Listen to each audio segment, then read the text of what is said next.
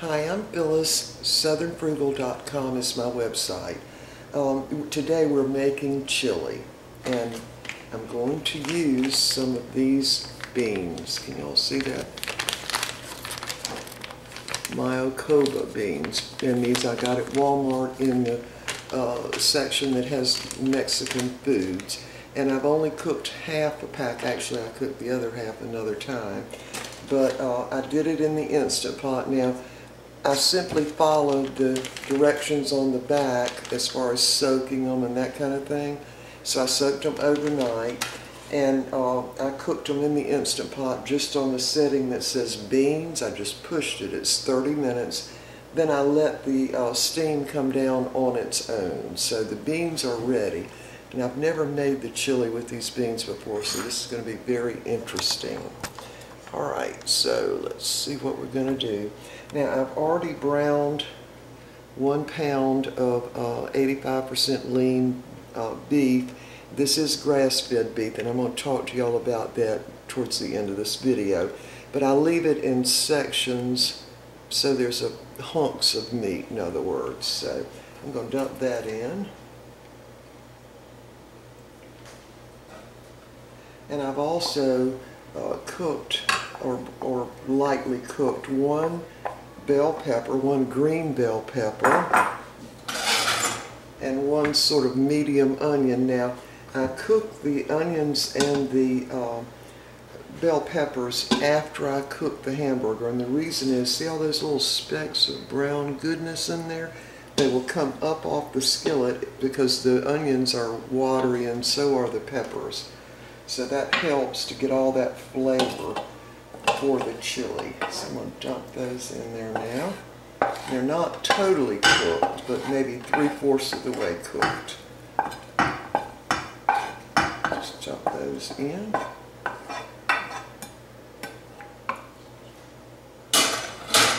I haven't uh, mixed them up yet. So now I'm going to add about two tablespoons of chopped fresh cilantro dump that in. And I'm going to add some garlic powder and I'm going to use two teaspoons. Sprinkle it in and it's actually being sprinkled in on this meat and uh, peppers and onions and the cilantro right on top. Alright, so that's the garlic. Now I'm going to use one teaspoon of cumin. Just one teaspoon of that. And I'm going to use one tablespoon of chili powder.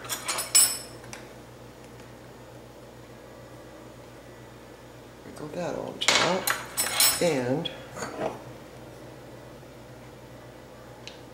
I'm going to use a tablespoon of Texas Pete hot sauce. Now that's not going to make it very hot just because there's a lot of beans here, so I'm going to dump that in.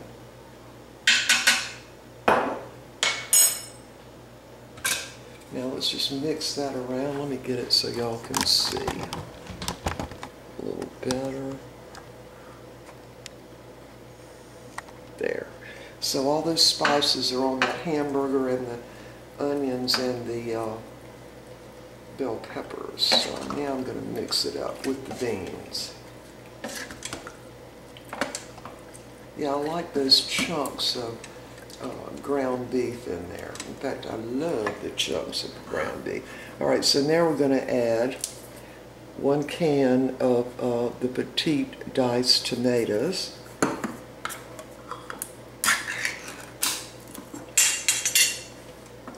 Dump that right in on top.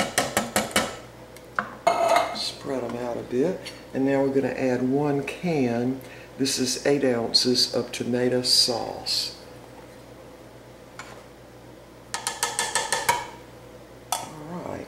And now I'm going to add one tablespoon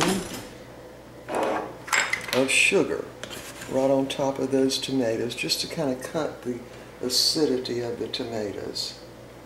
I know some of y'all don't approve of that, but we like it.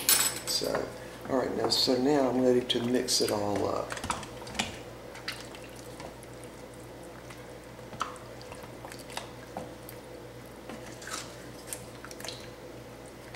Okay, it already smells good. So we're not going to be eating for probably at least a couple of hours from now. And so what I'm going to do is put this on, first I'm going to cut the Instant Pot on simmer. Y'all can't really see that.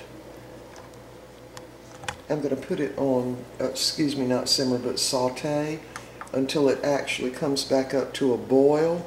Then I'm going to take take the saute off and just have it the keep warm button because it's going to be at least a couple of hours before we eat. All right, let me back up now and talk to y'all. Maybe by the time we get through talking, it'll, it will be boiling. Okay, I've got a little dog in here. Are you going to drink water, Steely? Huh?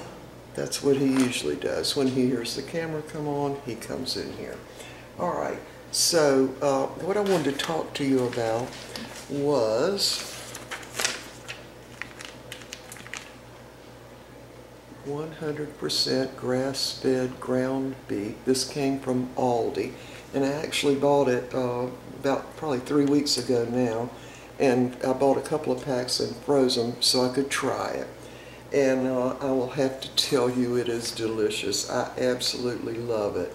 And also the uh, grass-fed uh, beef roast we got from there was really good. Now I've gotten them from Walmart. Let me turn that up a little. I've gotten them from Walmart before and they were really good. But these are exceptionally good. So I decided I would read the contents and so let me read it to you. All right, it says product of Australia, Uruguay, and or U.S and it's distributed by Aldi. And uh, here's the thing, uh, this beef is much better than Walmart's as far as their regular meat goes, their regular hamburger. So I also looked back on all my receipts. I had to really search too, but all my receipts, I keep every receipt for everything.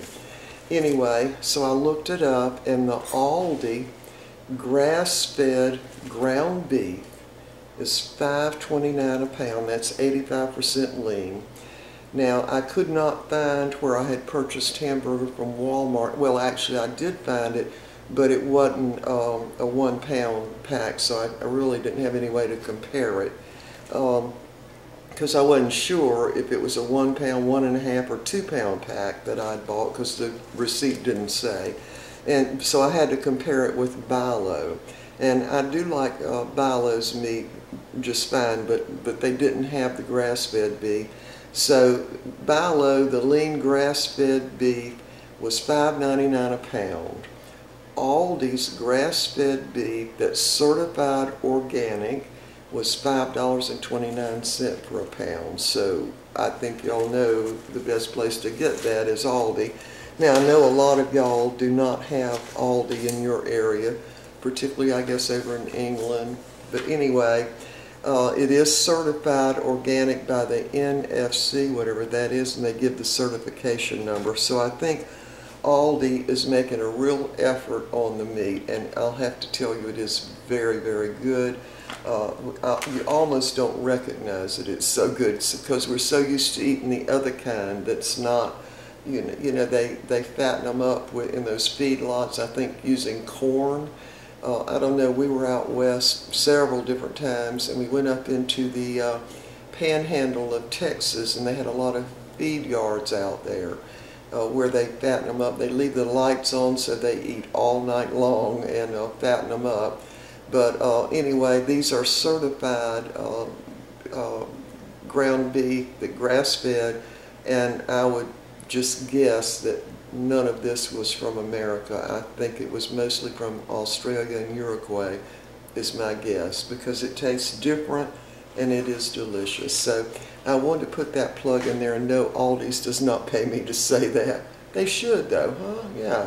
But uh, it, uh, I'm just telling you what I experienced. So you might want to check out their uh, beef, it is, in in our Aldi, it's in a different place than the regular meat. It's more on a little, like if the meat is at the back of the store, it's in little free, not freezer cases, but refrigerated cases on the right of the store. But it might be different in every Aldi, but you, you can find it, okay? So anyway, I guess that's it. Um, we're just gonna have this, it's gonna be at least a couple of hours, but I will show you what it looks like in the pot. It's a definite light chili. So hold on. Okay, here's what it looks like. It's obviously a very light chili. Uh, and again, we won't be eating for a couple of hours now. So the main reason I did this video is to tell y'all about this grass-fed beef from Aldi. Yeah, it is really, really good. All right, y'all. We will see y'all next time. Bye for now.